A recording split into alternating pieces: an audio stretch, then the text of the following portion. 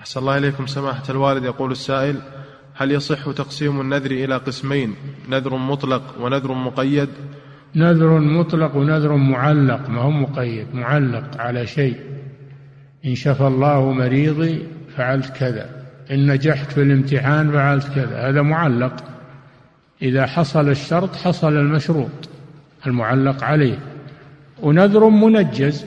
والله لا علي لله علي أن أصوم أن أصلي هذا منجز. يلزمه الوفاء به في الحال. أما المعلق فيلزمه الوفاء به عند حصول الشرط. نعم. الله إليكم سماحة الوالد. ويقول في تتمة سؤاله وأن النذر المكروه هو النذر المعلق كأن يقول لو نجحت لحججت هذه السنة. الله يا أخوان أنا قلت لكم كم مرة لا تحدثون أقوال لم تسبقوا إليها. أنا ما وقفت على الكلام هذا. وهذا التقسيم. فإن كان وجد في كلام أهل العلم فليأتنا به.